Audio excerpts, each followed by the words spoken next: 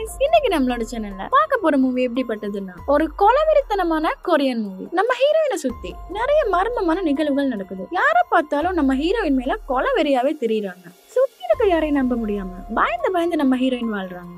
எதுக்காக நம்ம ஹீரோயினை சுத்தி இத்தனை பயங்கரங்கள் நடக்குது. இது எல்லாத்துக்குள்ளயுமே ஒளிஞ்சிருக்க மர்மங்கள் என்ன? இந்த மாதிரி இருக்க எல்லா விஷயத்தையும் நமக்கு வியடா சொன்ன மூவி தான் தான் வான் பிஹைண்ட் யூ நம்மளோட வாய்ஸ் ஆஃப் தமிழ் சேனலை நீங்க என்ன சப்ஸ்கிரைப் பண்ணலன்னா சப்ஸ்கிரைப் பண்ணிக்கோங்க. பக்கத்துல இருக்க பெல் ஐக்கானை கிளிக் பண்ணிக்கோங்க. இந்த வீடியோ உங்களுக்கு பிடிச்சிருந்தா கண்டிப்பா லைக் பண்ணி நிறைய பேரோட ஷேர் பண்ணிக்கோங்க. ஓகே வாங்க இப்ப இந்த மூவிய ஸ்டார்டிங் சீன்ல இருந்து பார்க்கலாம். மூவியோட ஸ்டார்டிங் சீன்லயே ஒரு சின்ன பையனை கட்டுறாங்க. அவன் ட்ரெயினை வச்சு ஏதோ விளையாண்டுட்டு இருக்கான். முன்னாடி பார்த்தா அந்த பையனோட அம்மாவை யாரோ கத்தியால குத்தி கொலை பண்ணிருக்காங்க யாருன்னு பார்த்தா அவனோட அப்பா தான். அந்த சின்ன பையன் பயந்து போய் அவங்க அம்மாவே பார்த்துட்டு இருக்கான். திடீர்னு அவங்க கண்ணை முடிச்சு பார்த்துட்டு கத்திட்டு வர மாதிரி இருக்கும். அவ்வளவுதான். அப்படியே நேம போட்டு படத்தை ஸ்டார்ட் பண்றாங்க. அதுக்கப்புறமா ஒருத்தங்களை காட்டுறாங்க. இவங்க தான் இந்த மூவியோட ஹீரோயின் இப்படி குழந்தைத்தனமா குழப்பிட்டு இருக்காங்கல்ல இவங்க நம்ம ஹீரோயினோட பெஸ்ட் ஃப்ரெண்ட் இவங்க ரெண்டு பேரும் கிளாஸ் ரூம்ல இப்படி குழந்தைத்தனமா விளையாட கிளாஸ் டாப்பர் கடுப்பாகி கத்தி விட்டுருவா. சாரின்ட்டு அப்படியே வெளில வந்துருவாங்க. வெளியில வந்து பார்த்தா நம்ம ஹீரோயினோட பாய் ஃப்ரெண்ட் அப்படியே பார்த்துட்டு இருப்பாரு அவங்கள அடுத்த சீன்ல நம்ம ஹீரோயின் வெறித்தனமா கத்தி சண்டை எல்லாம் போட்டுட்டு இருப்பாங்க அந்த கோச் வந்து மத்தவங்க திட்டி விட்டுருவாரு. பாரு வெவல எனர்ஜியா செம்மையா சண்டை போடுறா. இன்னும் டயர்ட் கூட ஆகல. நீயும் தான் இருக்கியங்கிற மாதிரி. நம்ம ஹீரோயினோட பாய் ஃப்ரெண்ட் அந்த இடத்துக்கே வந்துருவாரு. ஹீரோயினை கொஞ்சம் இருப்பா. நான் முடிஞ்சது வரேங்கிற மாதிரி சிக்னல் கொடுத்துட்டு இருப்பாங்க அடுத்த சீன்ல ஹீரோயினும் அவங்க பாய் ஃப்ரெண்டும் சந்தோஷமா நடந்து வந்துட்டு இருப்பாங்க ஹீரோயின் என்ன கட்டி பிடிச்சிக்கிறியான்னு கேட்க ஆ அதுக்கு என்னங்கிற மாதிரி அவங்க பாய் ஃப்ரெண்டும் கட்டி பிடிக்க அவங்களோட தங்கச்சி வந்து ஏன்னு கத்திட்டு நல்லா குழப்பிட்டு இருப்பாங்க இரு இரு நான் வீட்டுல போய் அம்மாட்ட மாட்டி வைக்கிறேன். பாருங்கிற மாதிரி சொல்லிட்டு அங்க இருந்து ஓட ஆரம்பிச்சிருவாங்க. ஹீரோனே வேலை வேலை ப்ளீஸ் அப்படி பண்ணாதன்னு சொல்லிட்டு அவங்களும் பின்னாடியே அவங்க பாய் ஃப்ரெண்டையோட அப்படியே அந்த தங்கச்சி வீட்டுக்கே வந்துருவாங்க. அவங்க அம்மா அப்பா வேலை முன்னாடியே உட்காந்துட்டு இருப்பாங்க. இவங்க போய் அம்மான்னு சொல்லிடுவாங்க. அவங்க பயந்து போய் பார்த்துட்டு இருப்பாங்க ஹீரோயின் பார்த்தா அக்கா ரொம்ப அழகா இருக்காளன்னு சொல்லி அப்படியே குழப்பி விட்டுருவாங்க. அவங்க ரெண்டு பேருக்கு ஒரு வேலையே இல்லையா எப்ப பார்த்தாலும் இப்படி தான் விளையாண்டுட்டு இருப்பீங்களாங்கிற மாதிரி அவங்க கிட்ட விட்டுருவாங்க. ஓகே ஓகே ரெண்டு பேரும் ரூமுக்கு போங்க. நான் உங்களுக்கு புது ட்ரெஸ் எல்லாம் வாங்கியிருக்கேன். கொண்டு வந்து காமிக்கிறேங்கிற மாதிரி அவங்களோட அம்மா சொல்லுவாங்க. புது ட்ரெஸ் எதுக்குமான்னு கேட்கும்போது நாளைக்கு உங்க அத்தையோட கல்யாணம்னு சொல்லுவாங்க. ஓ அப்படியே ரெண்டு பேரும் சந்தோஷமா போயிடுவாங்க. இங்க ஹீரோயினோட அம்மாவும் அப்பாவும் டிவியில நியூஸ் பார்த்துட்டு இருப்பாங்க நியூஸ்ல என்ன காட்டுவாங்கன்னா அங்க அவங்கள கொண்டிருக்காங்க இங்க இவங்கள கொண்டிருக்காங்க ஒரே ஃபேமிலில இருந்து எல்லாரும் கொண்டு இருக்காங்க. அப்படி இப்படி தாறுமாறா நியூஸ் போயிட்டு இருக்கும் இவங்க ரெண்டு பேரும் பேசிக்குவாங்க என்ன ஒரே ஃபேமிலில இருந்து இப்படி கொலை எல்லாம் பண்ணிக்கிறாங்களே வர வர செம்ம மோசம் இல்லைங்கிற மாதிரி இவங்க ரெண்டு பேரும் சொல்லிக்குவாங்க. அடுத்த நாள் ஹீரோயின் அவங்க குடும்பத்தோட அவங்க அத்தையோட கல்யாணத்துக்கு வந்துருவாங்க. வந்து சந்தோஷமா பேசிட்டு இருப்பாங்க அவங்களோட அத்தை எங்க இருக்காங்கன்னு கேட்டு வந்து பேசிட்டு இருப்பாங்க மேக்கப் எல்லாம் செம்ம அழகா இருக்கு எங்க பண்ணீங்கன்னு எல்லாம் கேட்டுட்டு இருப்பாங்க அப்புறம் கீழே அந்த அத்தையோட சிஸ்டர் இருப்பாங்க அவங்க கிட்டே வந்து பேசிட்டு இருப்பாங்க அவங்களுக்கு எப்ப கல்யாணம்னு? திடீர்னு பார்த்தா இப்ப கல்யாணம் நடக்கிறது நம்ம ஹீரோனோட அத்தை மேல இருந்து கீழே விழுந்துருவாங்க. அந்த மாப்பிள்ள தான் தள்ளி விட்டான்னு அங்க இருக்க எல்லாரும் சொல்லிட்டு இருப்பாங்க. அடுத்த சீன்ல எல்லாரும் ஹாஸ்பிட்டல்ல இருப்பாங்க. நம்ம ஹீரோயினோட அம்மா அப்பாவும் ஏதோ ஒரு விஷயத்தை பத்தி பேசிட்டு இருப்பாங்க. இல்ல இது வந்து வெறும் ஆக்சிடென்ட் மட்டும் தான். நீ அந்த மாதிரி தப்பெல்லாம் நினைக்காதன்னு அவங்க பேசிட்டு இருப்பாங்க. ஹீரோயினோட அம்மா வந்து ஒருவேளை அது அதுவா இருக்குமோங்கிற மாதிரி எல்லாம் கேட்பாங்க. என்னன்னு எதுவும் சொல்ல மாட்டாங்க. இல்ல இல்ல அந்த மாதிரி எல்லாம் எதுவுமே இல்ல. இது வந்து ஆக்சிடென்ட் மட்டும் தான். அதெல்லாம் நமக்கு வராதுங்கிற மாதிரி அவங்களோட அப்பா சொல்லிட்டு இருப்பாரு. டாக்டர்னு சொல்லுவாங்க. ஓகே தான். இப்ப கொஞ்சம் ஓகே மயக்கத்துல இருக்காங்க. டிஸ்டர்ப் பண்ணாதீங்கன்னு சொல்லிடுவாங்க. ஹீரோயினோட அம்மா அப்பா வந்து சொல்லுவாங்க. நாங்க கிளம்புறோம். நீங்க பாத்துக்கோங்கன்னு அந்த அத்தையோட சிஸ்டர் கிட்ட சொல்லிட்டு இருப்பாங்க. ஆ நான் பாத்துக்கிறேங்கிற மாதிரி அவங்க சொல்லுவாங்க. ஹீரோயின் சொல்லுவாங்க நான் இன்னும் கொஞ்ச நேரம் இருந்து வரேன். நீங்க இங்க பல தேவையில்லாம போய் கேள்வி எல்லாம் கேட்டுட்டு இருக்காதுன்னு ஹீரோயினோட அம்மா அப்பாவும் சொல்லுவாங்க. அதுக்கப்புறமா பார்த்தா நம்ம ஹீரோயினோட அத்தையை யாரோ கொலை பண்ண ட்ரை பண்றாங்க. கத்தியால குத்து குத்துன்னு சர மாதிரியே குத்துறாங்க. ஹீரோயின் அதை பாத்துருவாங்க. செம்மையா கத்திட்டு இருப்பாங்க அவங்க. பார்த்தா நம்ம ஹீரோயினோட அத்தையை குத்துறதே நம்ம ஹீரோயினோட அத்தையோட தங்கச்சி தான். ஹீரோயின் செம்மையா கத்துவாங்க. அவங்க திரும்பி பார்த்துட்டு மறுபடியும் வெறித்தனமா குத்துவாங்க. அவங்க அப்படியே இறந்தே போயிடுவாங்க. ஒரு மாதிரி அப்படியே வெளில வந்துட்டு அப்படியே கீழே விழுந்துருவாங்க. போலீஸ் எல்லாம் வந்து கேட்டுட்டு இருப்பாங்க. "இங்க பாருங்க இப்படி சைலண்ட் எல்லாம் இருக்க முடியாது. ஏதாவது ரிப்போர்ட் கொடுத்தே ஆகணும். நிறைய சாட்சிகள் இருக்குங்கிற மாதிரி பேசிட்டு இருப்பாங்க. பட் அவர் என்ன சொல்லுவாருன்னு இங்க பாருங்க அவ அப்படி பண்ணான்னு சொல்லவே முடியாது. அவ இதுக்காக அப்படி பண்ணணும். நிறைய குடும்பங்கள் காரணமே இல்லாம இறந்து போயிருக்காங்க. இது கண்டிப்பா ஒரு சாபமா தான் இருக்குங்கிற மாதிரி அவர் சொல்லுவாரு. அதுக்கு அந்த போலீஸ் என்ன சொல்லுவாருன்னு இங்க பாருங்க இப்ப இருக்க உலகத்துல சம்பந்தமே இல்லாம ஃபேமிலி மெம்பர்ஸா நிறைய பேர் கொள்றாங்க அதுக்கு சாபம் இப்போ கதையெல்லாம் விடாதீங்க பண்ற மாதிரி அவர் சொல்லிட்டு கிளம்பிடுவாரு. நம்ம ஹீரோயினுக்கு நடந்த அந்த சம்பவத்தால செம்ம கவலை. இருந்தாலும் செம்மையா கத்தி சண்டை போட்டுட்டு இருப்பாங்க அந்த கோச் மறுபடியும் ஏசி விட்டுருவாரு. அங்க பாரு எப்படி பண்றான்னு. உனக்கு எதுவுமே இன்னும் ஒழுங்காவே பண்ண தெரியலன்னு அந்த கிளாஸ்மேட்டை ஏசி விட்டுருவாரு. நம்ம ஹீரோயின் தனியா வந்து அழுந்துட்டு இருப்பாங்க பாய் ஃப்ரெண்ட் தான் ஆறுதல் சொல்லிட்டு இருப்பாரு அந்த இடத்துல. நைட் வந்து தூங்கிட்டு இருப்பாங்க திடீர்னு அவங்க மேல சொட்ட சொட்டா ரத்தம் அப்படியே வடிகிற மாதிரி இருக்கும். முழிச்சு பார்த்தா முன்னாடி பேய் மாதிரி எதோ இருந்து நீ தான் அடுத்ததுங்கிற மாதிரி சொல்லும். பயந்துட்டு எழுப்பிடுவாங்க பார்த்தா கனவு கண்டிருப்பாங்க. அவங்க அம்மா வந்து ஓகே ஓகே எதுவும் இல்லை எதுவும் இல்லைன்னு சொல்லிட்டு இருப்பாங்க அடுத்த நாள் ஹீரோயினோட கிளாஸ் ரூம்ல ஒருத்தர் வந்து நம்ம ஹீரோயினோட பேரை சொல்லி இல்லையான்னு கேட்பாரு. என்ன அவங்களோட சார் கேட்பாரு நாங்க இந்த ஸ்கூல்ல வச்சு ஒரு படம் எடுக்கிறோம். அதுக்கு வந்து நம்ம ஹீரோயின் வேணும். அவங்க இல்லையான்னு கேட்கும்போது இல்ல அவங்க உடம்பு சரியில்லைன்னு ஸ்டாஃப் ரூம் போயிருக்காங்க. இங்க டாப்பர்ஸ் எல்லாம் இங்கே தான் இருக்காங்க மூணு பேரும் சொல்லும்போது அவர் வந்து கண்டுக்கவே மாட்டாரு. இல்ல இல்ல எனக்கு இந்த கிளாஸ் டாப்பர்ஸ் எல்லாம் தேவையில்ல. நான் வந்து கத்தி சண்டை வச்சு தான் ஒரு படம் எடுக்கிறேன். ஸோ ஹீரோயின் தான் வேணும்னு சொல்லும்போது அந்த சாருக்கு வந்து ஃபேஸ் எல்லாம் ஒரு மாதிரி ஆகிடும். இந்த பக்கம் நம்ம ஹீரோயினை காட்டுவாங்க. அவங்க தனியா உட்காந்துட்டு இருப்பாங்க அந்த ரூம்ல அப்ப யாரும் வார மாதிரி தெரியும் அவங்களுக்கு. யாரு யாருன்னு கேட்பாங்க எதுவுமே பதில் சொல்ல மாட்டாங்க. திடீர்னு பார்த்தா அவங்களோட ஃப்ரெண்ட் வந்திருப்பாங்க.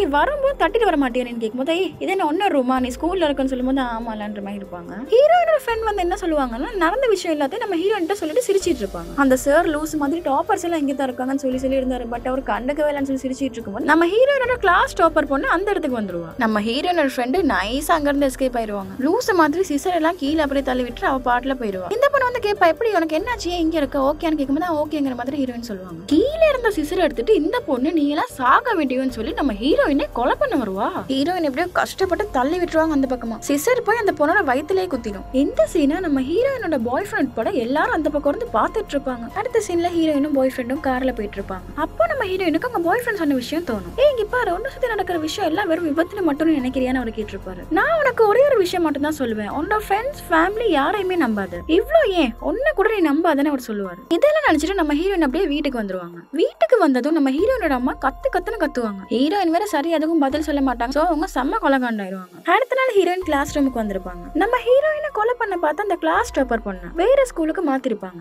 இந்த விஷயத்த அந்த சார் ஒரு மாதிரி சொல்லிட்டு போவாரு நம்ம ஹீரோயினை பார்த்து. நம்ம ஹீரோயினோட ஃப்ரெண்டு வேற தேவையில்லாம சாரை கொஞ்சம் பிடிக்கலன்னு நினைக்கிறேன்னு தேவையில்லாத கேள்விகளை கேட்டு ஹீரோயினை குழப்பி விட்டுருவாங்க. காண்டான ஹீரோயின் எழுப்பி போய் தனியா வந்து உட்காந்துருப்பாங்க அவங்க இருக்க இடத்துல வேற ஏதோ ஒரு சத்தம் கேட்கும். திடீர்னு பார்த்தா ஒரு கொடூர உருவம் வந்து அவங்க கால் பிடிச்சிருக்கும் திரும்பி பார்த்தா இந்த சார் வேற வந்திருப்பாரு. நீ தான் உண்மையாவே சாக வேண்டியவன் சொல்லி நம்ம ஹீரோயின் அவரும் கொலை பண்ண ட்ரை பண்ணுவாரு. பாவம் நம்ம ஹீரோயின் செம்மையா கஷ்டப்பட்டுட்டு இருப்பாங்க. அவங்களோட கிளாஸ்மேட்டும் பாய் ஃப்ரெண்டும் வந்து தான் அவங்கள காப்பாத்துவாங்க. ஹீரோயின் அடுத்த சீன்ல பாய் ஃப்ரெண்ட்டை பேசிட்டு இருப்பாங்க. நீ எனக்கு என்ன சொன்னால் யாரையுமே நம்ப கூடாதா ஏன் அப்படி சொன்னன்ற மாதிரி கேட்பாங்க. அவர் சொல்லுவாருங்க இப்ப நான் இப்ப அதை தான் சொல்றேன். யாரையுமே நம்பாத. ஒன்று கூட நம்பாதங்கிற மாதிரி அவர் சொல்லுவாரு. ஏன்? நான் சாக்க போறேன்னு அவங்க கேட்பாங்க. அப்படி இல்ல. இருந்தாலும் யாரையும் நம்பாதங்கிற மாதிரி அவர் சொல்லுவாரு. நம்ம ஹீரோனோட கிளாஸ்மேட் வந்து சொல்லுவாரு என்னப்பா சோரக்கனை பைத்தியமா பிடிச்சிருச்சு. என்ன இருந்தாலும் அப்படி பண்ணிட்டாருங்கிற மாதிரி அவர் சொல்லுவாரு. மூவியோட ஸ்டார்டிங் சீன்ல நம்ம ஹீரோயினோட அத்தையை அவங்களோட தங்கச்சியை கொலை பண்ணிருப்பாங்கல்ல. அவங்க இப்ப ஜெயில இருக்காங்க. அவங்கள இப்ப பார்த்து பேசுறதுக்காக நம்ம ஹீரோயின் வந்திருக்காங்க. அந்த போலீஸ் வந்து என்ன சொல்லுவாருன்னா வந்ததுல இருந்து ஒரு வார்த்தை கூட அவங்க பேசவே இல்ல. நீங்க ஏதாவது பேச வச்சா உண்மையாவே பெரிய விஷயங்கிற மாதிரி அவர் சொல்லுவாரு. நம்ம ஹீரோயின் உள்ள வந்து சொல்லுவாங்க நான் கிட்டத்தட்ட ரெண்டு மூணு இறந்தே போயிட்டேன் அத்தை. ரொம்ப பயமா இருக்கு எனக்கு. உங்களோட உதவி எனக்கு கண்டிப்பா வேணும்னு சொல்லுவாங்க. அப்பதான் அவங்க இதுக்கு முன்னாடி என்ன விஷயங்கள் நடந்துச்சு எதனால அவங்க கத்தியால குத்தி அவங்கள கொன்னாங்கன்னு சொல்ல ஆரம்பிப்பாங்க. கொஞ்ச நாளைக்கு முத நம்ம ஹீரோயினோட அத்தையோட சிஸ்டர் வீட்டுக்கு வரும்போது அவங்க பாய் ஃப்ரெண்டும் அவங்க சிஸ்டரும் பேசிட்டு இருக்காங்க. நம்ம ஹீரோயின் அத்தையோட சிஸ்டருக்கு இந்த விஷயத்த தாங்கிக்கவே முடியல. அவங்க பாய் ஃப்ரெண்டை மீட் பண்ணி அவங்க பேச ஆரம்பிக்கிறாங்க.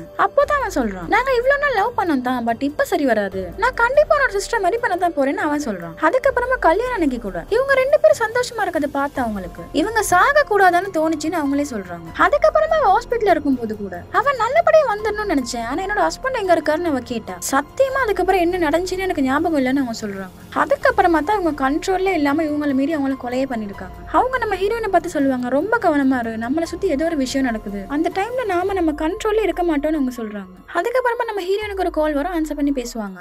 யாருன்னு பார்த்தா அவங்களோட கிளாஸ்மேட் தான். நம்ம ஹீரோயின் தான் கத்தி சண்டை எல்லாம் போடுவாங்களே. சோ அதுக்கு வந்து ஏதோ ரிப்போர்ட் வந்து சப்மிட் பண்ண நான் இப்போ வீட்டுக்கு கீழே தான் இருக்கேன். வந்து சீக்கிரமா எடுத்துட்டு போக முடியுமான்னு அவர் கேட்பாரு சோ ஓகேன்னு ஹீரோயின் கீழே போவாங்க. கீழே போய் பார்த்தா அவர் எடுக்க மாட்டார்? ரிப்போர்ட் மட்டும் தான் இருக்கும். அதே இடத்துல நம்ம ஹீரோயின் திரும்பினா திடீர்னு வந்து கம்பல் அடிப்பாரு. நீ சாக வேண்டியவ செத்துருன்னு சொல்லுவாரு. எப்படியோ கஷ்டப்பட்டு நம்ம ஹீரோயின் வீட்டுக்குள்ள வந்துருவாங்க. அம்மா அம்மான்னு கத்திட்டே வருவாங்க. திட்டின்னு கத்தி வச்சுட்டு உங்க அம்மாவும் பேய் மாதிரி திரும்புவாங்க. உனக்கு நான் வீட்டை விட்டு வெளியே போக தானே சொன்னேன். நான் சொல்றத கேட்க மாட்டியான்னு சொல்லி பேய் மாதிரி கத்திட்டு குத்த வேற வருவாங்க நம்ம ஹீரோயின் டக்கு நம்ம ஹீரோயினோட அப்பா வந்து கண்ட்ரோல் பண்ண ட்ரை பண்ணுவாரு. ஆனா இவங்க செம்ம ஆக்ரோஷமா கத்திட்டு இருப்பாங்க எனக்கு அவளை கொல்லணும் அவ சாக வேண்டியவன். இந்த சீன் எல்லாம் பார்த்து நம்ம ஹீரோயினோட தங்கச்சியும் செம்மையா ஃபீல் பண்ணி அளந்துட்டு இருப்பாங்க. பாவம் நம்ம ஹீரோயினுக்கு எப்படி இருக்கும்? அடுத்த நாள் மார்னிங் நம்ம ஹீரோயினோட அப்பா வந்து ஓகே அம்மா இப்பங்கிற மாதிரி கேட்பாரு உங்க அம்மா தாத்தா பாட்டி வீட்டுக்கு போயிட்டா அவன் தங்கச்சினா தூங்குறா வா நம்ம சாப்பிடலான்னு கூட்டிட்டு போவாரு. பட் நம்ம ஹீரோயின் போகாம ஒரு மாதிரி யோசிச்சுட்டு இருப்பாங்க. இவர் சாப்பாடுலாம் வச்சு வெயிட் பண்ணிட்டு கீழே. ஆனா நம்ம ஹீரோயின் பேக் பேக் எல்லாம் பேக் பண்ணிட்டு வருவாங்க. ஹே எங்கம்மா போற? வெளியே போறது உனக்கு ஆபத்துமாங்கிற மாதிரி சொல்லுவாரு. என்னப்பா சொல்றீங்க? அப்ப வீட்டுல இருக்கிறது மட்டும் பாதுகாப்பானதானே அவங்க கேட்பாங்க. அம்மாவே என்ன கொல்ல வராங்க? நீங்க எப்ப வருவீங்கன்னு எனக்கு தெரியல. என்னால முடியலப்பா. நான் சாகுறதா எல்லாத்துக்கும் முடிவான்னு கேட்பாங்க. நான் கிளம்புறேன்ப்பான்னு சொல்லுவாங்க. நீங்க பாருமா கண்டிப்பா நீ போயே தான் ஆகணும்னா நான் ஒரு இடம் சொல்றேன். எங்களோட சொந்தக்காரங்க ஒருத்தர் இருக்காரு. ஆனா எத்தனை வருஷமா அவர் அந்த வில்லேஜ் விட்டு வெளியவே வரல. முடிஞ்சா அங்க போய் ஏதாவது பதில் கிடைக்குதான்னு பாருன்னு சொல்லுவாரு. ஹீரோயின் அங்க பாய் ஃப்ரெண்ட் மீட் பண்ணிருப்பாரு. அவர் சொல்லுவாரு கொஞ்ச நாள் வெயிட் பண்ணு. எனக்கு லீவ் கிடைச்ச அப்புறம் நானும் வரேன். நீ தனியே போகாதன்னு சொல்லுவாரு. அதுக்கப்புறமா அவரும் கிளம்பி போவார். ரெண்டு பேரும் வர வேண்டிய இடத்துக்கு வந்துருவாங்க. அங்க இருக்கவர் அவரோட கதையை சொல்ல ஆரம்பிப்பாரு. மெரி பண்ணி கொஞ்ச நாள் தான் ஆச்சு. நாங்க ரெண்டு பேரும் ரொம்ப சந்தோஷமா தான் இருந்தோம். எனக்கு ஒரு கோல் வந்தது.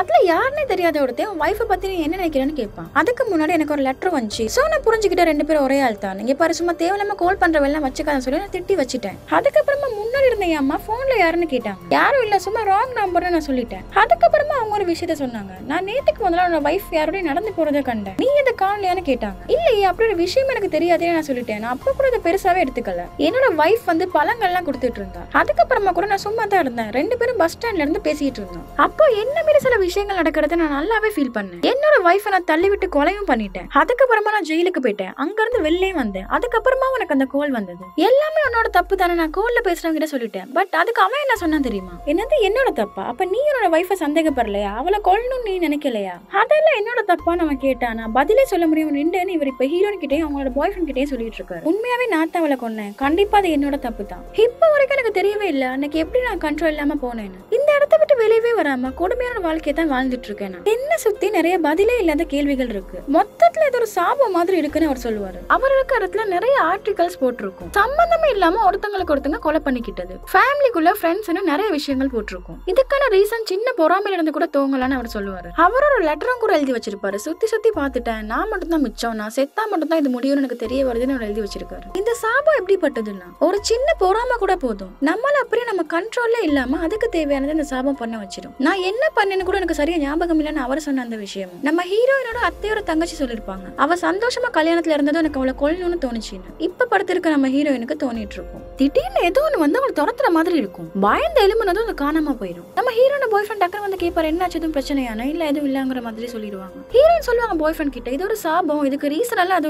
உனக்கு சான்ஸ் இல்லைன்னு நினைக்கிறேன்னு சொல்லுவாங்க. அதுக்கு அவர் என்ன சொல்லுவாருன்னா உன்னை கொல்ல ட்ரை பண்ணவங்களுக்கு எல்லாம் இதுக்கு முன்னாடி நீ கொடுத்துருக்க ஏதோ ஒரு ஃபீலிங் உன் மேல ஸ்ட்ராங்கா இருக்கு. அவர் சொன்ன மாதிரி ஒரு சின்ன பொறாமையா கூட அது இருக்கலாம்னு அவர் சொல்லுவாரு. அடுத்த சீன்ல அவர்கிட்ட சொல்லிட்டு நம்ம ஹீரோயின் கிளம்பிடுவாங்க நான் மறுபடியும் கிளம்பிடுவேன் நம்ம ஹீரோயின் பஸ்ல போறத காட்டிட்டு இருப்பாங்க. இந்த பக்கம் காட்டுவாங்க. இவ்வளவு நேரம் நம்ம ஹீரோயினுக்கு எக்ஸ்பிளைன் பண்ண அவரு தூக்கு மாட்டி இறந்துருப்பாரு. நம்ம ஹீரோயின் வீட்டுக்கும் வந்துருவாங்க. அவங்களோட அம்மா ஒரு மாதிரி பார்த்துட்டு இருப்பாங்க என்ன மனுஷர் நான் அன்னைக்கு நடந்துகிட்டதுக்குங்கிற மாதிரி சொல்லுவாங்க. ஹீரோயின் போய் செம்மையா கட்டி பிடிச்சு அழுவாங்க. எனக்கு தெரியுமா அது கண்டிப்பா நீங்க இல்லைன்னு சொல்லுவாங்க. ஹீரோயின் அவங்க அப்பா கிட்டே கேட்பாங்க. அப்பா என்னைக்காவது அதிகமா என் மேல கோவப்பட்டிருக்கீங்களாப்பா? நான் எங்கேயாவது போயிடணும் செத்து போயிடணும்னு நினைச்சிருக்கீங்களா? என்னைக்காவது என் மேல செம்ம கோவம் வந்திருக்கா? நான் ஏன் கேக்குறேன்னா அந்த மாதிரி நாங்க நினைச்ச சில விஷயங்கள் தான் நம்மள தாக்குது இந்த சாபத்துல. ஏதாவது ஒரு சின்ன விஷயமா இருந்தாலும் போதும்னு அவங்க சொல்லுவாங்க. அப்படி இல்ல எதுவும் இல்லைன்னு அவங்க சொல்லுவாங்க. அடுத்த நாள் அவங்க தங்கச்சியோட ஸ்கூல் போய்கிட்டு இருப்பாங்க. தங்கச்சிக்கிட்ட நம்ம ஹீரோன் கேட்பாங்க நீ என்ன நினைச்சு கவலைப்படுறியா? நாமான தங்கச்சின்னு சொல்லுவாங்க. ஏ கவலைலாம் படாத. கண்டிப்பா நான் சாகலாம் மாட்டேங்கிற மாதிரி சொல்லுவாங்க. நாங்க மறுபடியும் முன்ன மாதிரி ஜாலியா இருக்கலாம்னு சொல்லிட்டு ரெண்டு பேரும் சிரிச்சிட்டு சந்தோஷமா போயிட்டு இருப்பாங்க. ஹீரோயின் அவங்க கிளாஸ் ரூமுக்கு போனதும் அங்க இருக்க யாருக்குமே நம்ம ஹீரோயின் பிடிக்காது. எதுக்காக வந்தாங்கிற மாதிரி எல்லாரும் பார்த்துட்டு இருப்பாங்க. அவங்களோட ஃப்ரெண்டா போய் கேட்பாங்க என்ன பிரச்சனை? எல்லாரும் ஏன் இப்படி பார்த்துட்டு இருக்கீங்க?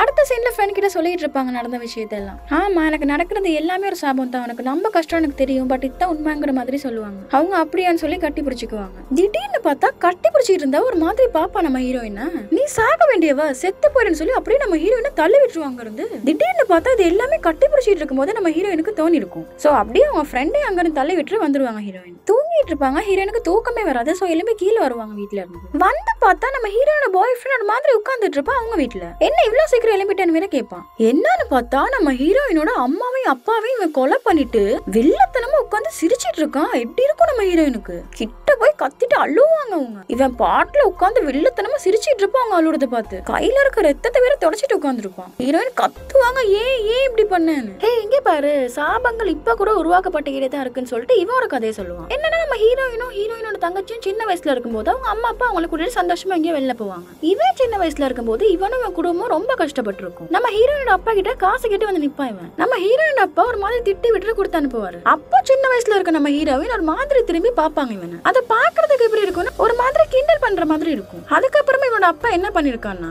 பெட்ரோல் ஊத்தி அந்த வீட்டையே எரிச்சிருக்கான். அவங்க ரெண்டு பேரும் இறந்து போயிடுறாங்க. இப்படி இவனை வந்து காப்பாத்திடுறாங்க. அப்போ இருந்தே அவன் இவங்களை பழி வாங்கணும்னு நினைச்சுக்கிட்டே இருந்திருக்கான். நம்ம ஹீரோயினோட தங்கச்சி வேற அந்த இடத்துக்கு வந்துருவாங்க. இங்க பாரு உன்னோட அக்காக்கு ஏதோ ஆயிடுச்சு தயவு செஞ்சு ஏன் பக்கமான்னு அவன் கூப்பிடுவான். நம்ம ஹீரோயினை தடுக்க வரும்போது நம்ம ஹீரோயினை பிடிச்சி இவன் தள்ளி விட்டுருவான். அவங்களோட தங்கச்சி மேல ஓடும்போது அவங்களே இழுத்து அடிச்சு விட்டுருவான். அதுக்கப்புறமா கத்தியில குத்திடுவான்னு வரும்போது நம்ம ஹீரோயினுக்கும் இவனுக்கும் பெரிய போராட்டமே போகும். அதுக்கப்புறமா நம்ம ஹீரோயின் வயிற்றுலயே குத்திடுவான். இப்போ எல்லாரையும் குடும்பத்தோட கொளுத்தி விட்டுருவான்னு முடிவு பண்ணி எல்லா இடத்துலயும் ஊத்திட்டு இருப்பான். சரியா கொளுத்திடுவான்னு போகும்போது நம்ம ஹீரோயின் ஓடி வந்து கத்தியாலே குத்தி விட்டுருவான். அப்போ அவன் என்ன சொல்லுவான்னா நான் உன்னை லவ் பண்ணேன்னு நினைச்சியா? உன்னை குடும்பத்தோட பழி வாங்கணும் தான் நான் இந்த மாதிரி பண்ணேன்னு சொல்லுவான். நம்ம ஹீரோயின் கழுத்தே பிடிச்சி நசுக்குவான். பின்னாடி இருந்து நம்ம ஹீரோயினோட தங்கச்சி வந்து கத்தியால குத்தி விட்டுருவாங்க. இப்போ அவன் கையில இருந்த லைட்டரும் கீழே விழுந்து அந்த இடமே அப்படியே எரிய ஆரம்பிச்சிருச்சு. நம்ம ஹீரோயினும் அவங்க தங்கச்சியும் செம்மையா ஃபீல் பண்ணி அங்கிருந்து வெளில போவாங்க. அதுக்கப்புறமா ஹாஸ்பிட்டல்ல கட்டுவாங்க. அங்க இருக்க டிவில நம்ம ஹீரோயின் பத்தின நியூஸ் தான் போயிட்டு இருக்கும் அப்படியே நம்ம ஹீரோயினை வந்து அவங்க தங்கச்சி எழுப்பாட்டுவாங்க எப்படி இருக்கக்கான்னு கேட்பாங்க. அம்மாவும் அப்பாவும் ஹீரோயின் கேட்கும்போது இனிமே நாங்க ரெண்டு பேரும் மட்டும் தானே அவங்க சொல்லுவாங்க. சோ ஹீரோயின் ஃபீல் பண்ணி அழுந்துட்டு இருப்பாங்க இங்க பாருக்கா நான் உனக்காக ஒண்ணு கொண்டு வந்திருக்கேன்னு நினைப்பாங்க.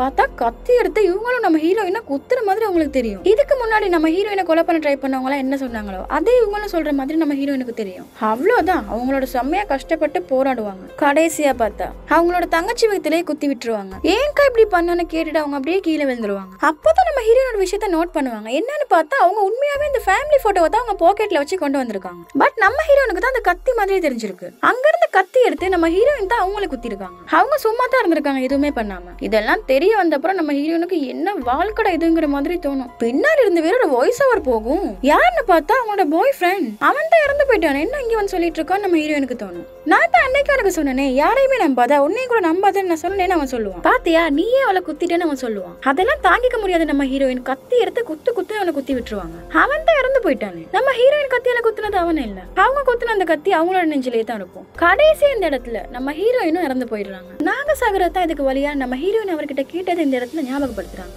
அதுக்கப்புறமா இந்த சம்பவங்கள்லாம் முடிஞ்ச அப்புறமா ஒரு ஸ்கூல்ல ஒரு ஸ்டூடெண்ட் ஒரு சார் தாறு மரம் திட்டிட்டு இருப்பான். நான் சொல்லும் போது நீ எதையுமே கவனிக்க மாட்டியா? அவன் பாட்டுல அங்கங்க பாத்துட்டு இருக்காரு செம்ம திட்டு திட்டுன்னு திட்டிட்டே இருப்பான். பத்தாதைக்கு தூணு கீழே துப்பிட்டு அதை வேற நக்குன்னு சொல்லுவான். எல்லா ஸ்டூடெண்ட்ஸும் அவனை பார்த்துட்டு வேற இருப்பாங்க. அவனுக்கு ஒரு வழியே இல்லாம அதை பண்ணுவான் அந்த இடத்துல அவன். எப்படி ஒரு கொலை வெறி இருக்கும் அந்த சார் மேல அவனுக்கு?